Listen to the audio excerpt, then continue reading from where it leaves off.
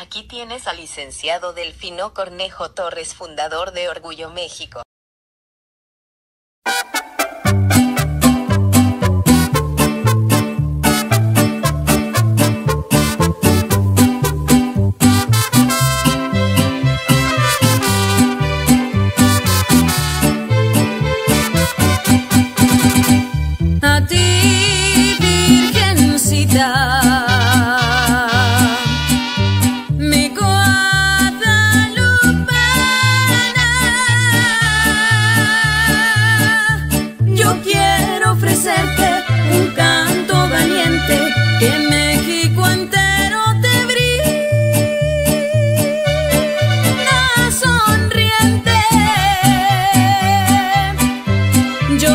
quiero decirte.